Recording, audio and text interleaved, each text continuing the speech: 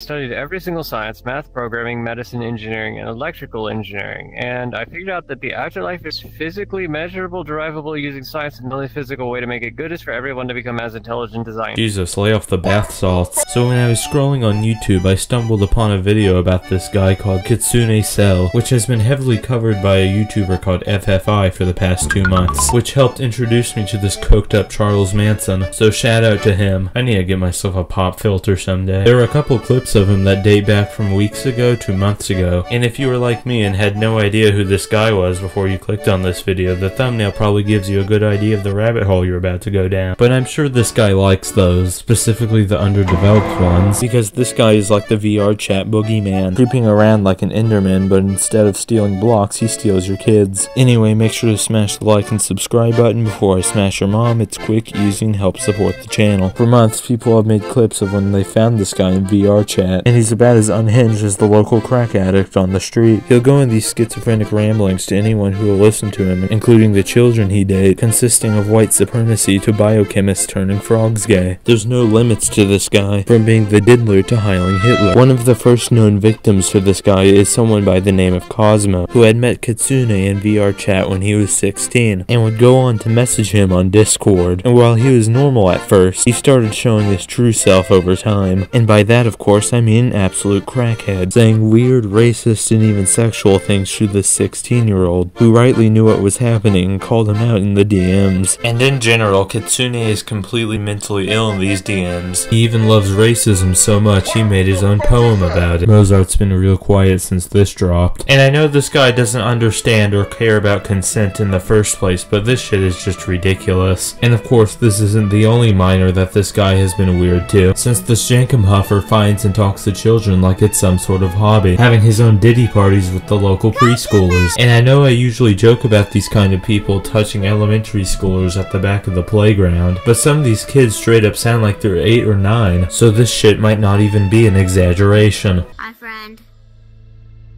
Hey, Gigmore. Oh, sh.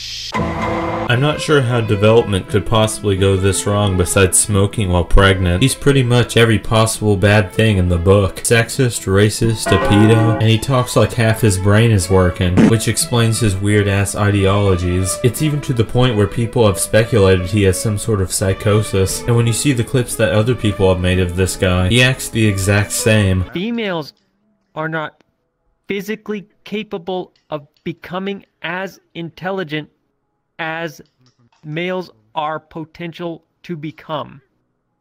Is that why you talk slow? And forming new sentences requires time You smoke weed? for any There, human. there's there's no way there's no way to form a new sentence. Why does this guy speak like he's on horse tranquilizer? And for someone who likes to preach about how they're the most intelligent person in the world, he sure as hell doesn't act like it. And it doesn't help that he's built like a Minecraft skeleton. And when I say he likes to talk about it a lot, I really do mean that. He says the same bullshit word for word pretty much every time someone talks to him about all of the sciences he supposedly studied. He likes to claim that women aren't as intelligent as men even though he can't put a full sentence together, at least one that makes sense. And he talks like an early AI model. I'd feel bad for him if he didn't say this type of shit and didn't touch kitty titties, but apparently not touching kids is too much of an ask. And when you hear other people come forward about their experiences with him, it starts to sound like a straight up cult. But instead of drinking laced Kool-Aid, it's a 30 year old man licking kids in VR chat. While FFI has stated that the police know about this guy,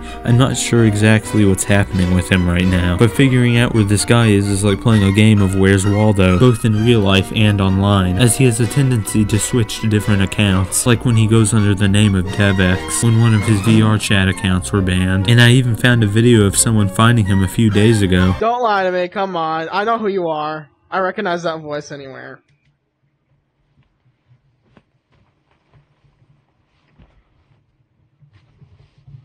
Weird.